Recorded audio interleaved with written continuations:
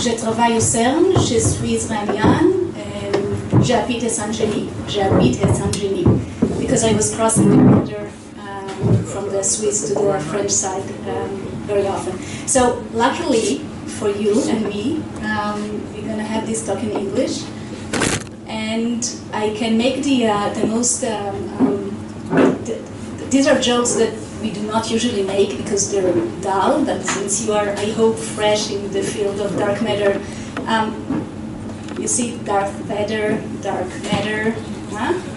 It's very, uh, yeah. So uh, um, if you haven't heard that before, then uh, yeah, don't, don't tell it's me because I'll be lame.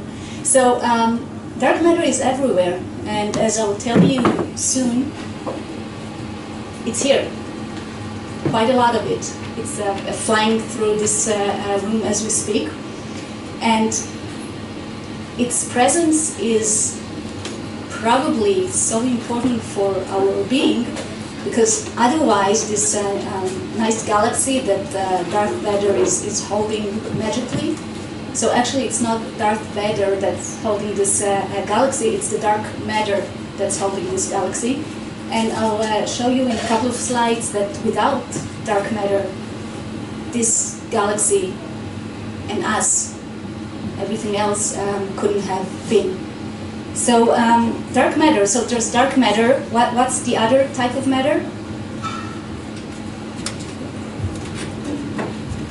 So dark matter, and all the rest is called.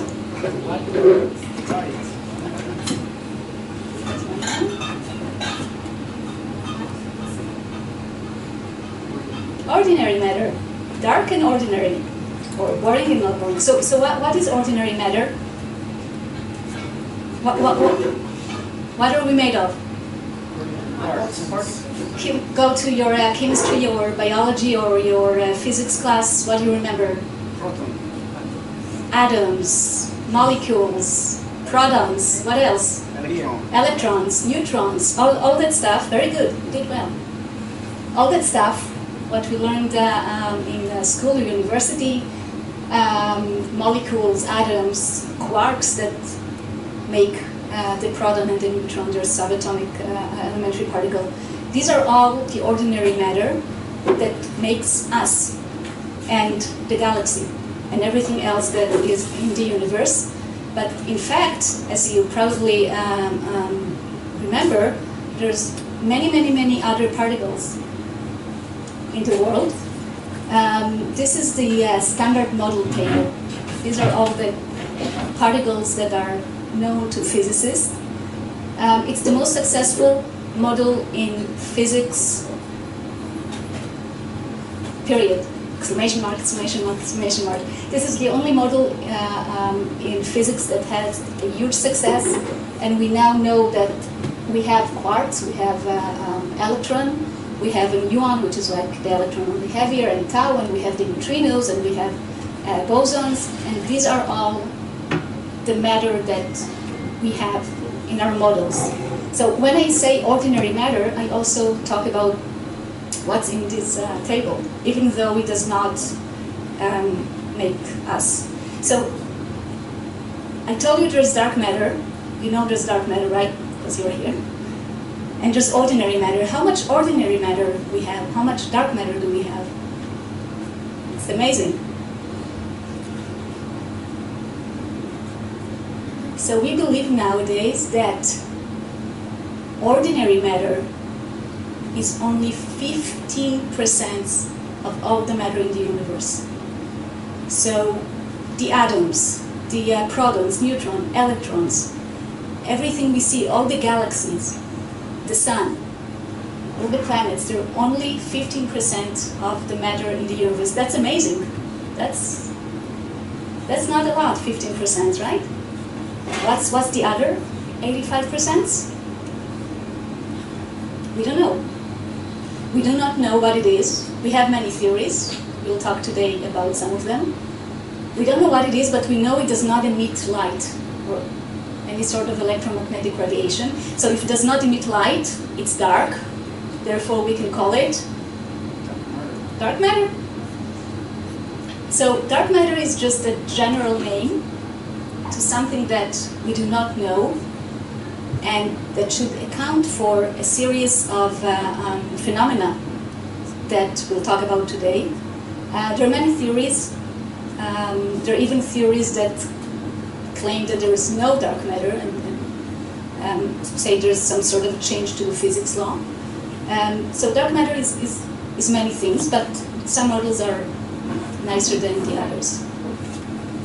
Okay, so the mystery of the missing mass, it's, it's, it's very dramatic. Astrophysics is a very dramatic field. Uh, so we'll talk about uh, um, three things. We'll start with a couple of words on astronomy. We'll talk on uh, pizza and uh, multi-messenger astronomy. Have you heard multi-messenger astronomy? Have you heard this, this term before? Come on, yes, no, maybe? No? Okay, thanks. And uh, we'll talk about the limitation of not pizza, but of the multi-messenger astronomy.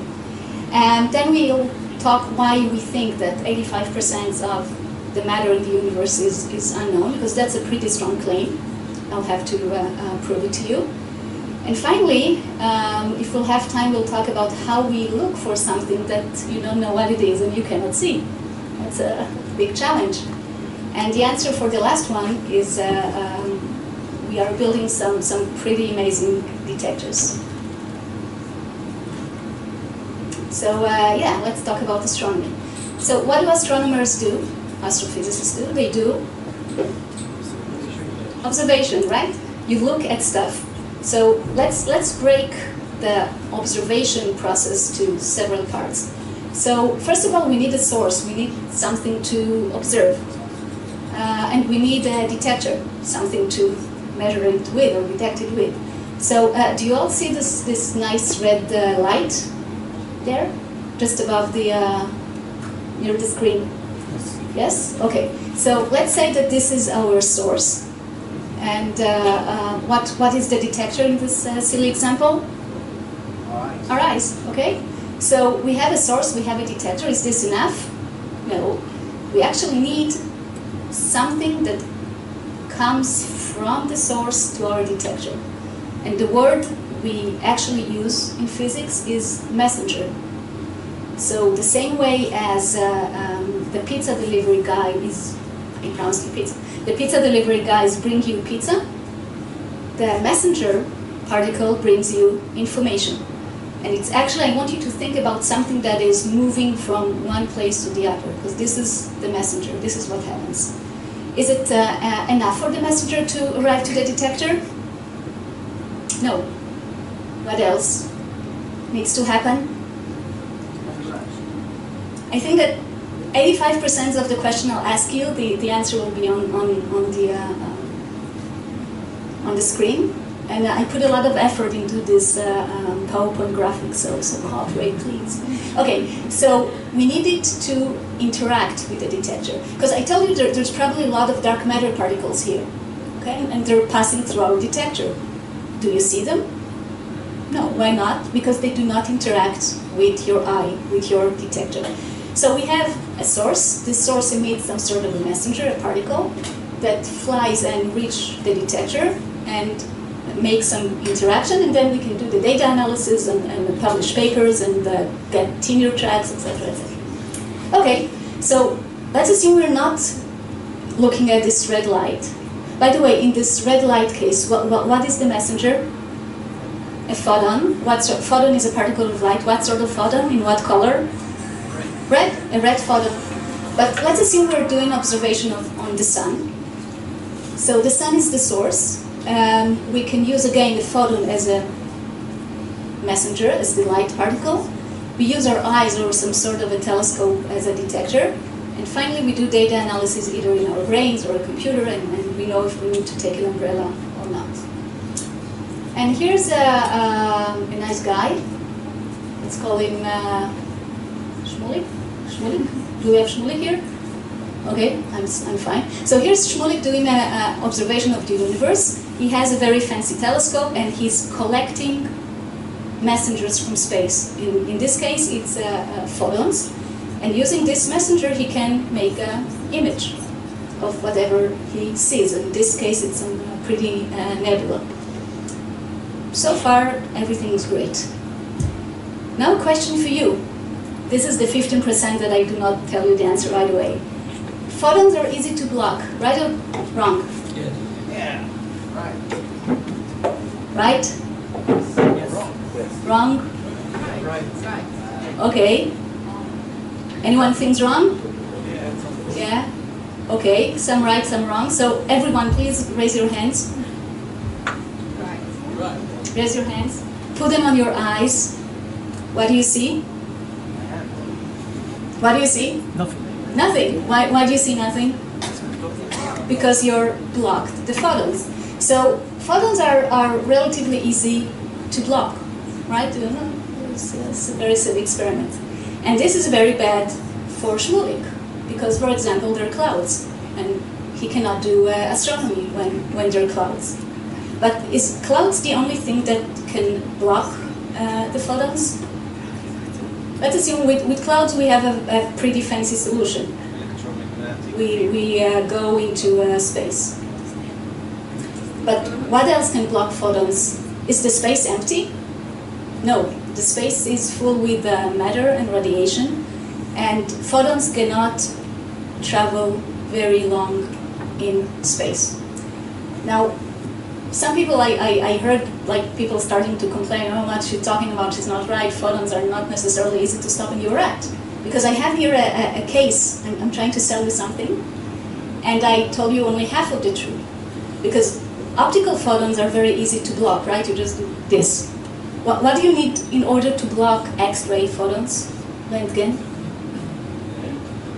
Yeah, you, you probably went and did some uh, X-ray or uh, I don't know, and they gave you this lead jacket because in order to stop a photon in the X-ray wavelength, one centimeter of hand is not enough. You need one centimeter of lead.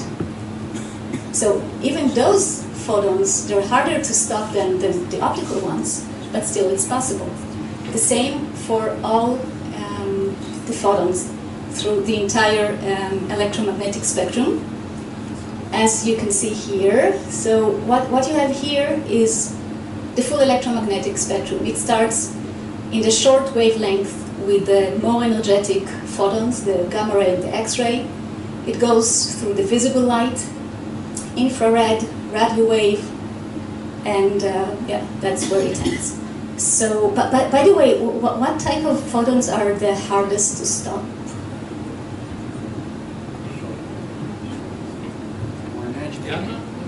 So people, th- this is a nice trivia question. You can uh, uh, tease your friends. Actually, can, can you see what's going on outside right now with your eyes? I hope not, right? But if you'll take out your cell phone, would, it work in this room? Yeah. What kind of radiation cell phones work with? It's uh, radio wave, uh, gigahertz waves, right? So these are very long wavelengths, and these wavelengths are the hardest to stop. Why they're hardest to stop? Because they have very low energy and they can kind of sneak in through stuff. And in fact, the, the messenger we have the most information from about the universe, the faraway uh, universe, is radio. So radio waves can, uh, uh, with them we can look very, very far into the universe. However, radio waves are low energy.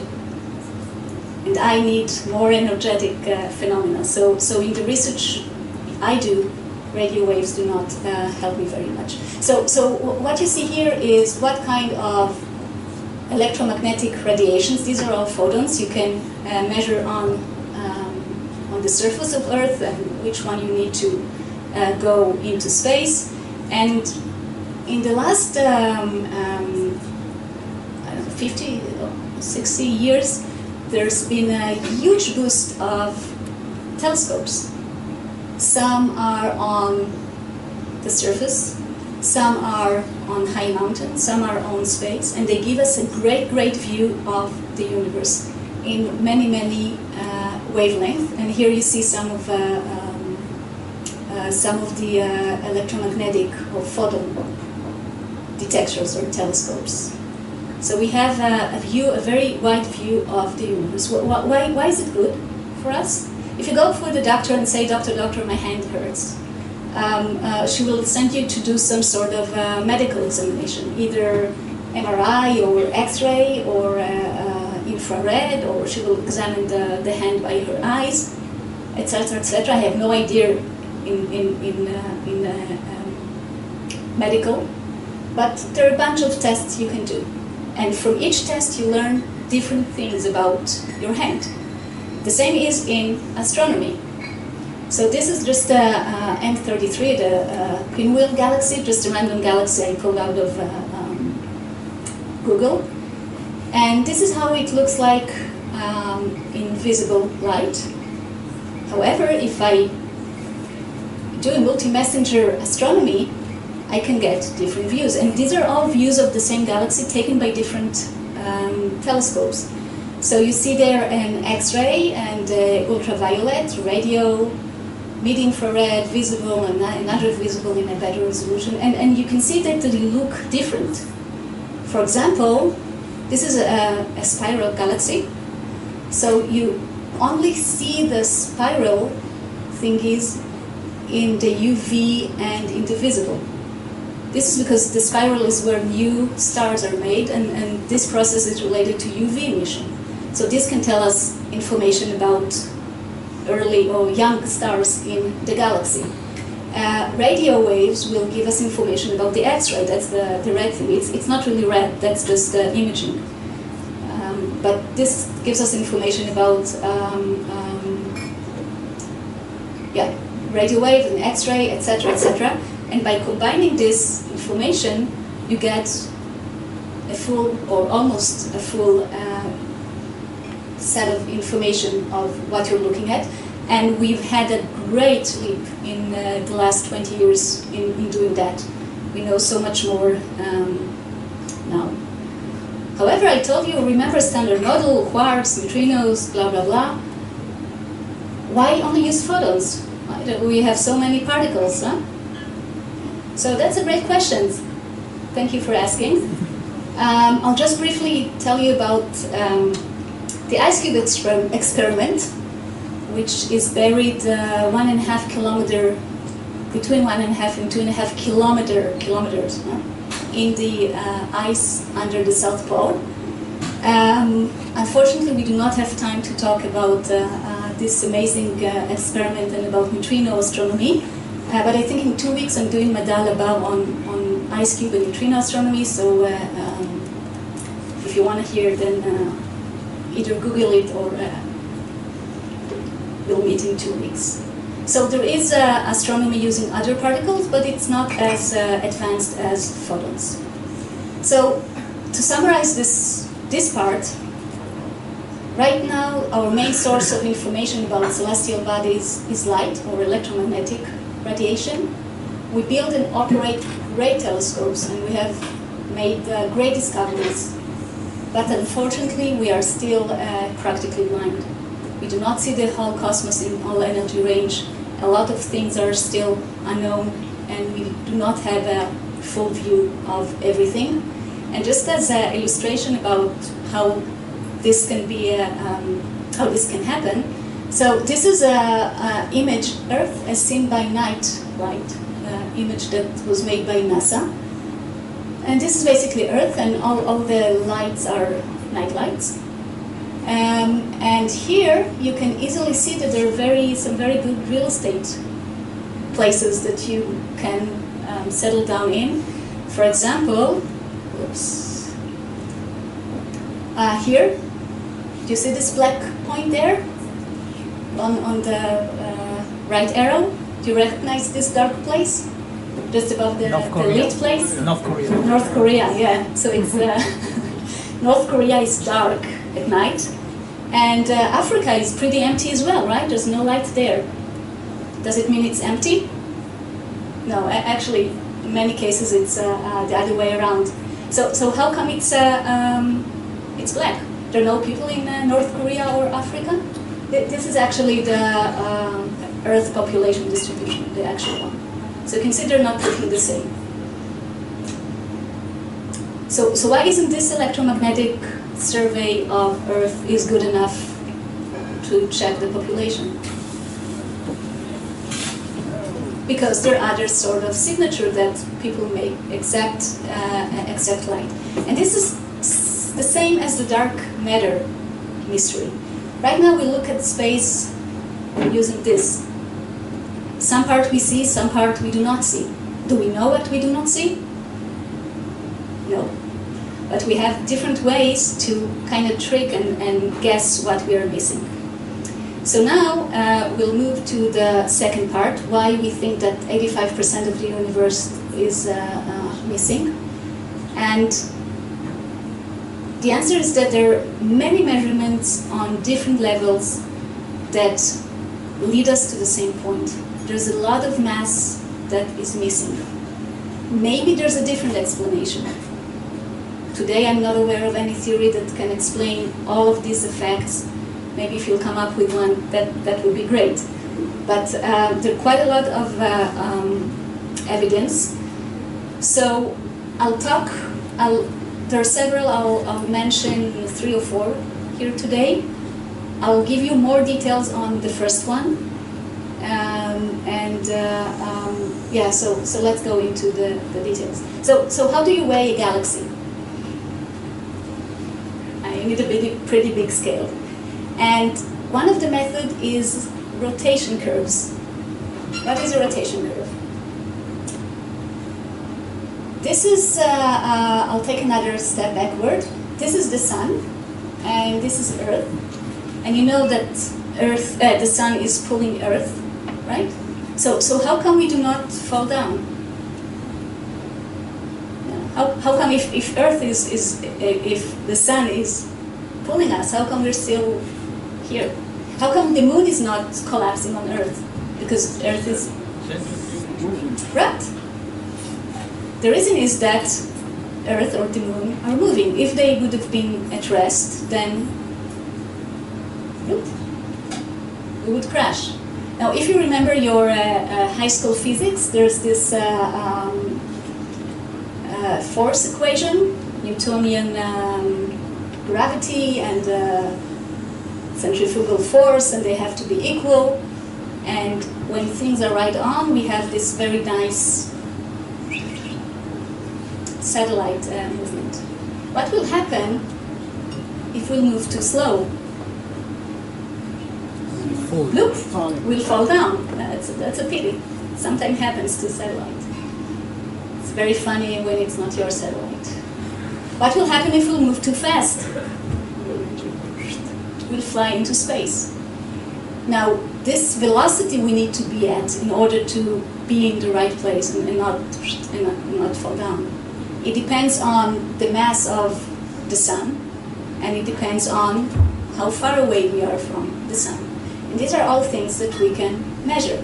So if we'll do this trick um, on the solar system, for example, we know the mass of the sun, we know how far away the planets are. We can use the equation I just showed you and, and plot the velocity of the different planets as a function of how far away they are from the sun. So the further we go out, further we are away from the sun, the planet velocity is decreasing. And you can see Pluto there is uh, uh, pretty slow and Mercury is, uh, is uh, boosting very fast. And this curve is called the rotation curve. It gives us the velocity of a system in this, in this case a solar system, as a function of how far we are from its center.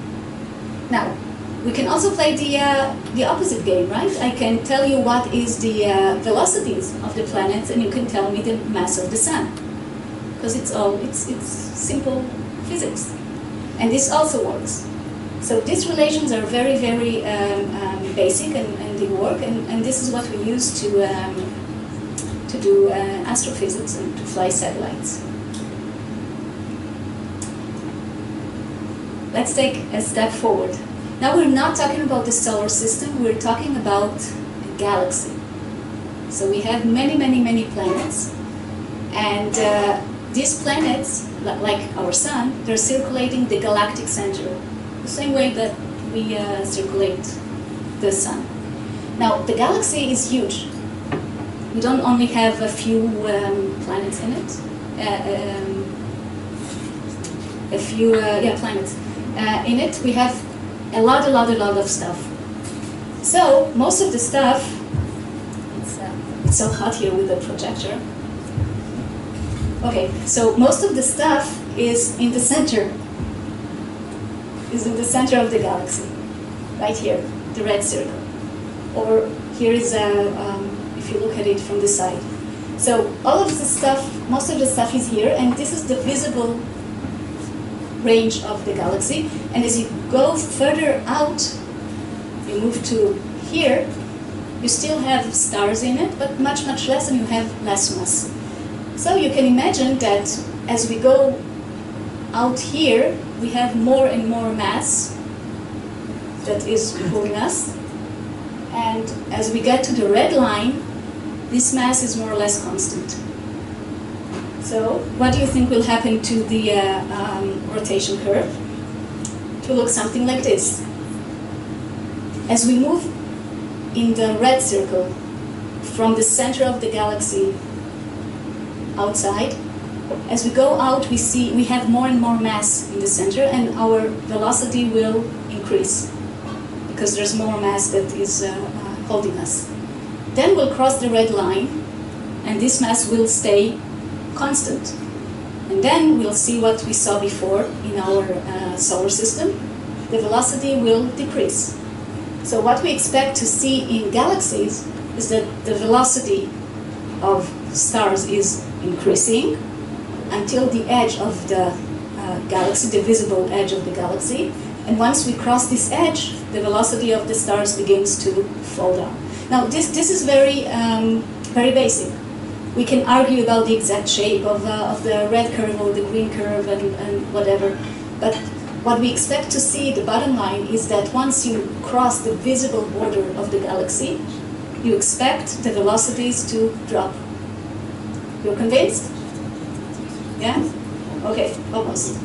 So let's measure it. Let's take a galaxy. Let's estimate how much light we see. And let's measure the velocity of the stars as we go outside of the galaxy. So this is what we expect to get as we go further out from the galactic center. At the beginning, the velocity is, is uh, uh, rising, and then when we reach the visible edge, the velocity of, of the stars begins to fall. This is what was actually measured. This is fine, more or less as we expected. oh no! What, what, what, what do you see here? It's a flat line. Now, th this is this is of course a PowerPoint graphic, right? It's uh, uh, nothing that is uh, publishable, but measurements like this were made on hundreds of galaxies. Just Google rotation rotation curve, and, and, and you get all the papers. And in all of them, this is what you get. I mean, there are wiggles, obviously, right? And, and it's not straight, straight. But you keep getting that instead of the velocity dropping, the velocity is staying constant. So what, what, what does it mean that the velocity is constant? It, it means two things. Either we are moving at a velocity which is too fast for the mass that is inside, and then what will happen to us? We fly out. We are here. We're still here, so okay, we didn't fly out. So there has to be another solution. So what we believe happened is that there's more mass in the galaxy that we can actually see. So the mass that is holding the planet is not just what we see, it's, it's much more than, than uh, uh, the visible uh, light. And when I say visible light, it's not just the visible visible light, it's the full range of the electromagnetic radiation that we can measure. So these measurements uh, improved in the last uh, uh, 20 years, since the 70s, it's all started in the 70s. As we have uh, better measurements and, and got more and more information, but the situation is still the same. And the basic message is that, oh no, galaxies are spinning too fast. We cannot explain the velocity we're spinning at based on the matter we see in the galaxy. So either something is terribly wrong with our physics, and if you have a model or suggestion, I'm very much welcome to share it with me, or there's more mass that is hidden in there. Um, I'll show you just a, a, a real, um, a real graph showing the same. Um, so the dashed line, the lower one, is the estimation of the velocities just using the visible matter. And uh, line above it with all the yellow and blue points, these, these are the measurements. So in this specific galaxy, you see that not only it, it's not even straight, it's, it's rising. And this is very surprising. And our conclusion is that there must be a hidden mass in there. And the nice thing is that using these rotation curves, we can also model what or how much mass is missing. Because we know what the velocity is and we know how much need to be there. And this is what we do. Now you might ask yourself, uh, well, how does this affect me? And uh, I did the math for you. And if you take the numbers for our own galaxy, our uh, Milky Way galaxy, we believe that there's a halo of dark matter, like a big cloud of dark matter in the center of the galaxy, all around it. And since we are uh, 26,000 light years away from the galactic center, uh, our velocity around the galactic center is 230 kilometer per second. Another trivia fact for you. However, if you take into account only the visible matter, the ordinary matter, our velocity should have been 180 kilometer per second. So this is this is a pretty big difference, and we are at uh, 230. And, and here uh, this terrifying plot shows you all sort of uh, dark matter, halo models that all points to the same thing. There's probably more mass that um, than we can see. Um, this example, this is, was actually the second proof of dark matter throughout the timeline of dark matter uh, history. The first measurement that indicated dark matter existence was taken in the uh, 1930s um, by a scientist who I heard he was completely was me scientist who was uh, um, um, quite a character named uh, Zwicky. Uh, and he measured the same effect not on galaxies but on galaxy clusters. So you know there's the solar system and we orbit the sun and then there's the galaxy that we orbit the galaxy center then there's galaxy clusters which orbit each other, so it's even a larger uh, structure, and, and this was also observed there. Okay, so we talked about the first method of um, weighing a galaxy. The second method is a, a much more modern method. It's gravitational, gravitational lensing. This is how the cool people are doing um, uh, weighing uh, um, stuff in space. So you all know about space-time curvature, right? We say that everything here is just one curvature. And another way to imagine gravity is, is not just using the uh, Newtonian equation we just saw, it's also using the space-time curvature. So if you imagine that heavy bodies like this uh, uh, star there, the red star, they cause the, um, um, the surface of everything like to, uh, how's it called, uh, like to sunk in. Like uh, uh, if you take a big uh, map, a big sheet, and you put some mass in it. So this is the same effect that heavy bodies do on our space-time curvature. And that means that the same way that a ball will roll down on, on, the, on the sheet if there's something heavy in it, the same thing happened to all the masses in the universe as well. So it's like imagining that instead of something falling down because of gravity, it's kind of rolling in in the space-time curvature because of gravity. Now, if things with mass do it in, in this uh, uh, general relativity view, also light will do it. So light, instead of moving in straight line, it will start to curve according to how much mass it passes. So here in this room, we are, uh, we are all uh, uh, fit and good looking, so no heavy masses. Light moves in straight lines. However, if something heavy would have been right here, it would cause the uh, space-time curvature to curve, and the light, instead of going straight, it would kind of curve, curve in, like like a lens, basically. So, if we are making an observation in space, and this is the point uh, um, in the back, right here, this point here, and imagine that this huge mass wouldn't have been here. It's gone. Just watch and see, oh, it's there. However, it is here. And now the light is not moving in straight lines like it should have, it's curving. So without this mass, this uh, ray of light would move like this. And this ray of light would have moved like this.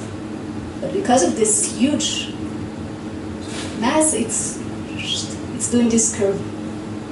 Now we're sitting here, we're looking at space, and we see this ray and this ray coming to us. So we kind of extrapolate back. It sounds very uh, uh, scary, but, but this is what, what you do when you look at stuff. When you look at things that, with, with crazy lenses, it looks like things are crazy, even though they're not necessarily are. So if we trace back the lines we get, we do not see the mass here, we see it here and here. And if this is in an excellent symmetry, instead of seeing this mass, we would see a, a circle. Because the, the ray coming from here would do like this, and also from the other side, all directions. So instead of seeing a point, we'll see a circle. Um, this is another cartoon showing it, more in a, a 3D way. Same, uh, it's the same thing. So we're looking at something here, and the light is moving like this, and we see it as if it's coming from here. So if we know where the original thing is, and we look at the, this distortion, we can calculate what is the mass of the thing that is blocking our sight. So by watching something that's behind the huge mass, we can estimate the huge mass mass. And uh, people do that. Um, this is uh, uh, it's an actual photo. It's not a. Um, it was not edited. You, you you see the ring, right? This is uh, the effect of uh, general relativity of this uh, gravitational lensing. And using the amount of lensing, you can calculate the mass of the object that is blocking your vision, and we do that. And again, when we repeat this kind of game for many, many objects, we see that a lot of mass is missing, tens of uh, um, percents. Here's another uh, um, Cheshire cat. Again, it's real. It's a, uh, it's an observation, and you can see here the nice uh, Einstein rings. The golden bullet for dark matter is uh, the bullet cluster. Again, another clever uh, uh, naming. Uh, so what you see here is a collision of two galaxy clusters. So it's not a galaxy; it's a, it's a cluster of galaxies. It's a huge thing. Uh, it happened about 150 million years ago, and this photo is a combination of three measurements. All, all the white points are stars, visible light. The red cloud is uh, gas measured by X-ray, and the blue is what you get if you do gravitational lensing calculation. So if you try to estimate where is the mass of what you see based on gravitational lensing. And those two things uh, um, um, collided, they passed through each other. And you can see some uh, very remarkable uh, uh, things here, because what this tells us we see a clear separation of the different parts of the galaxy clusters. So if at the beginning the gas and the, uh, uh, the mass were in the right place, after the collision they separated because the gas interacted with itself as it is. But uh, the dark matter did not, so they passed through each other, and the blue circles kind of moved um, moved on. And this is one of the strongest uh, proofs for uh, the existence of dark matter. Um, if you Google it, there's some uh, uh, animations showing it, not not real measurements. It was uh, um, um, extrapolated backward, of course. So this is another proof of dark matter. It tells us that the mass or, or the heavy part of what we see is not what we see. It's someplace dark. So, great, many, many observations, but maybe there's something uh, uh, seriously wrong with your detectors. Maybe. The last part in, in the puzzle that I'll show you is uh, um, the thing that ties everything together, and it has to do with the Big Bang. Heard of it, probably? So when it all started, um, I'll do a lot of hand waving here. So, cosmic microwave background is an indication of the Big Bang. It's actually the strongest uh, evidence that supports the Big Bang. And at the beginning, at the very very early universe, we had a soup of uh, uh, uh particles that after a few seconds became dark matter, as we believe, photons, and ordinary matter, which we call baryon. So we had those three thingies flying around, dark matter, photons, and uh, uh, the matter. And at the early seconds, something great happened. So everything interacted with each other. The dark matter was kind of was, was not very friendly, did not interact a lot, but it was gravitationally uh, supporting everything.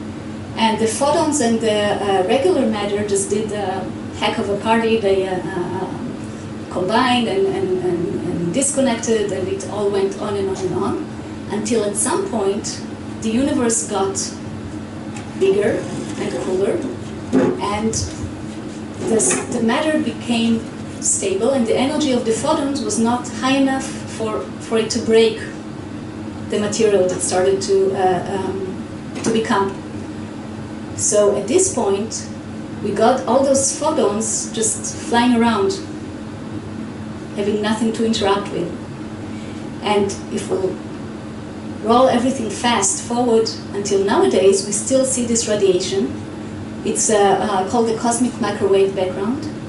It was, uh, it was a Nobel uh, Prize uh, um, discovery and it all started by um, two scientists trying to do some radio measurement, and they kept getting this uh, um, this noise, this noise, and they thought, well, maybe it's uh, uh, pigeons, and they start, yeah, well, I'll be politically correct. They they gently removed the pigeon from their telescopes, uh, but it turned out to be this uh, cosmic microwave background, which are photons that are um, with us since the uh, uh, very early universe, and, and, they're actually an indication, the best indication we have for the Big Bang. They're everywhere, and we have uh, telescopes that can measure them. So um, it looks like this until uh, um, know, several years ago it was considered to be completely flat, completely symmetric from all directions. But now we can look in more details and we can see that there's small structure in this uh, um, background when we look at the temperature or the energy of this radiation. It's uh, uh, very, very small. Is uh, The level is one part in a hundred thousand. So it's really, really small. You need to do very uh, um, clever analysis. You need pretty good detectors to measure it. But when you do this measurement and you check the structure, in it's, this is all it's, it's amazing physics. It's, uh, um, uh, it's, it's not stuff that, that I do, um, but it's, it's, it amazes me the amount of information that you can gain.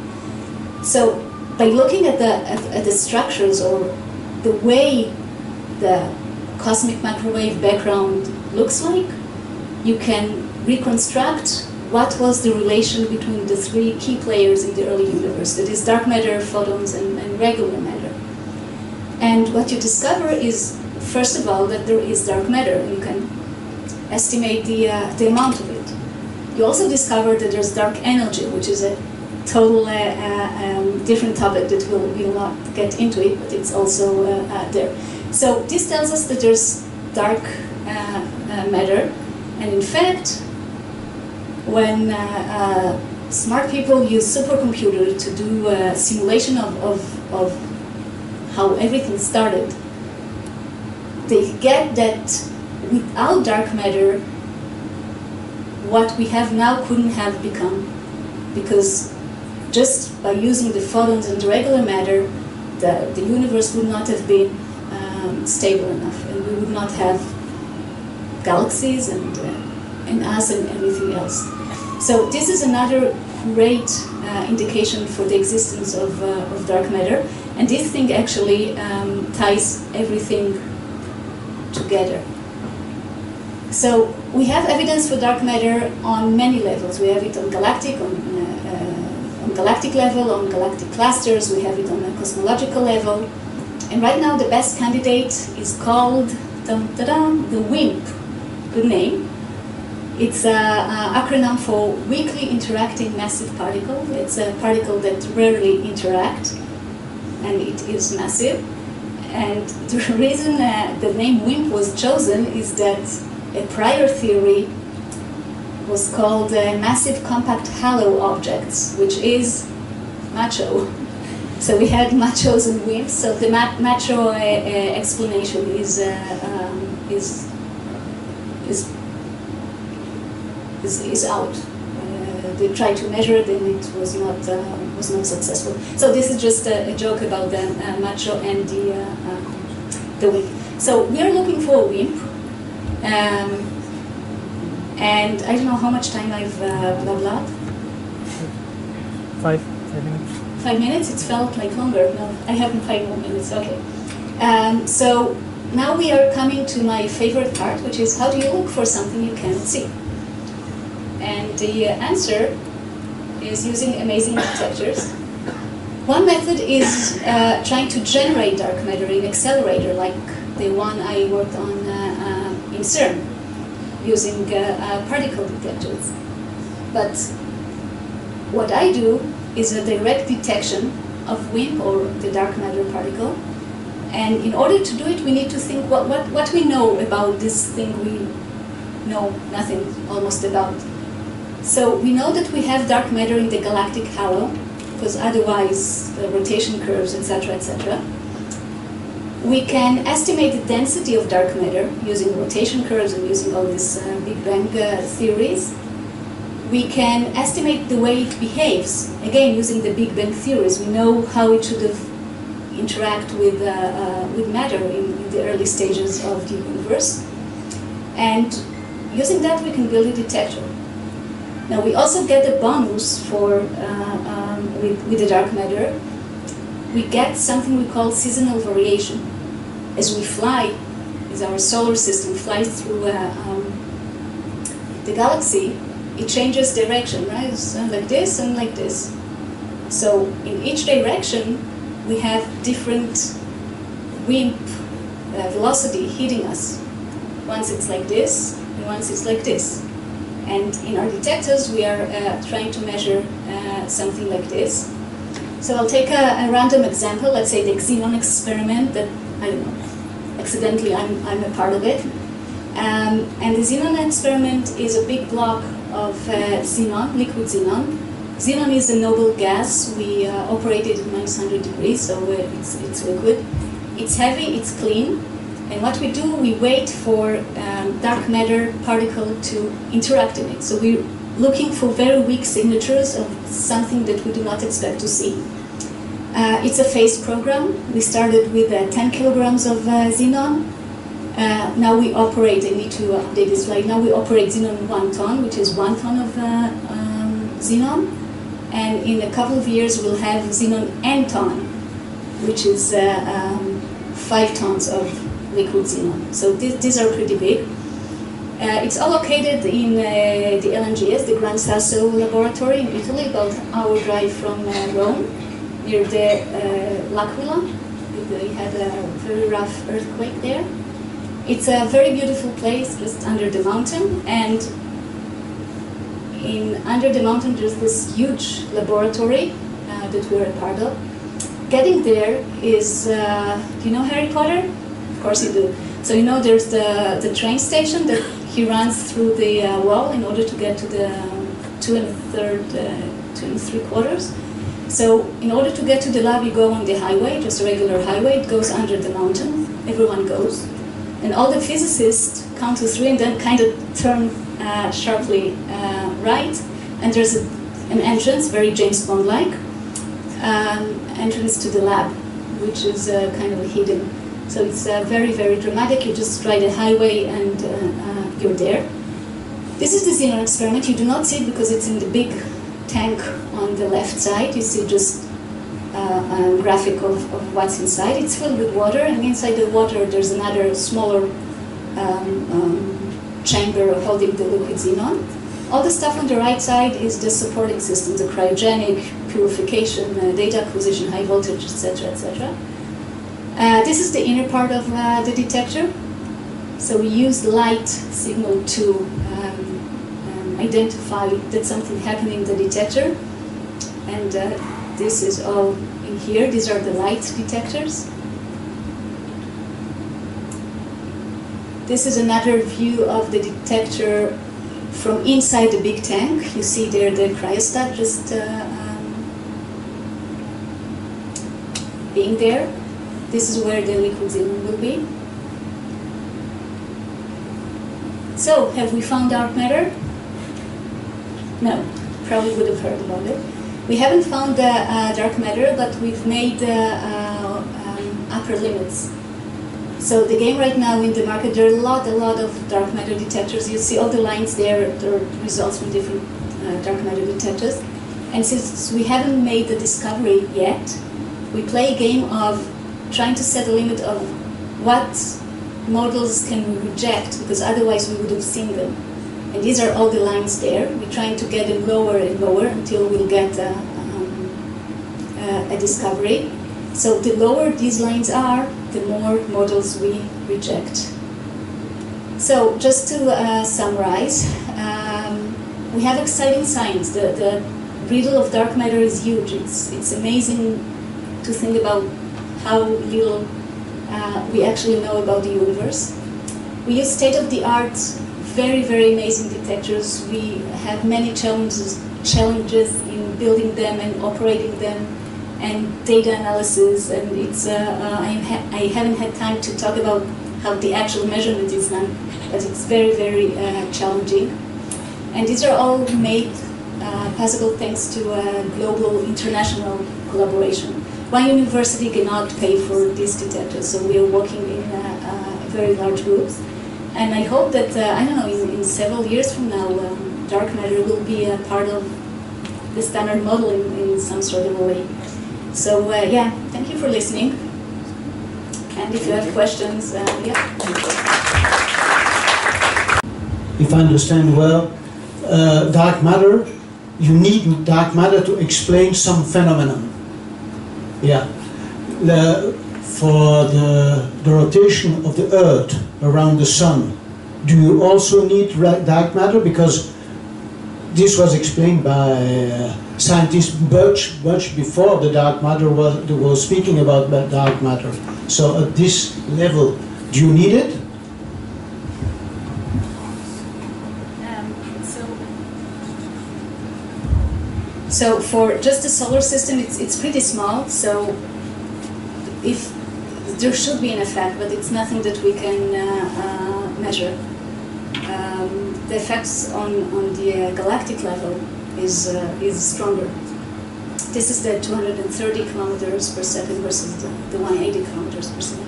But in our own small uh, neighborhood, then it's a very, very small effect.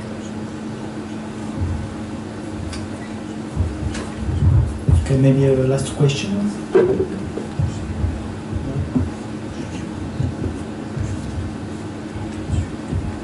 So um, you showed this bullet bullet point uh, picture, and so we saw that the the gas that interacts with itself stays in the middle, and that the dark matter goes through through itself. So it means that dark matter doesn't interact with itself. Also, does it mean that dark matter doesn't interact with itself? Um, it does interact with itself.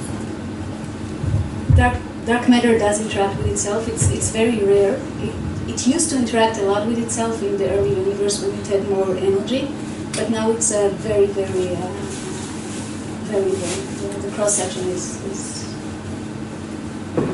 tiny.